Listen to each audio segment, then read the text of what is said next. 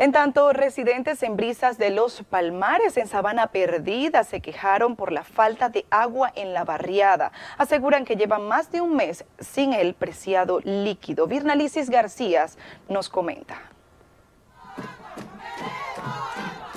Los moradores precisaron que para poder realizar sus actividades deben pagar 500 pesos para un camión de agua que no les dura lo suficiente, por lo que en un mes y tres semanas sin agua han tenido que adquirir al menos cuatro, lo que afecta su economía.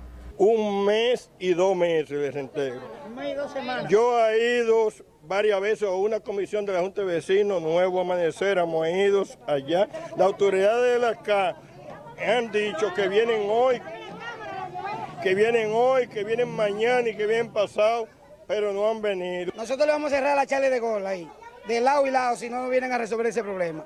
Y el otro problema grave que tenemos es que la luz se la llevan a las 6 de la tarde y la mandan a las 2 de la mañana.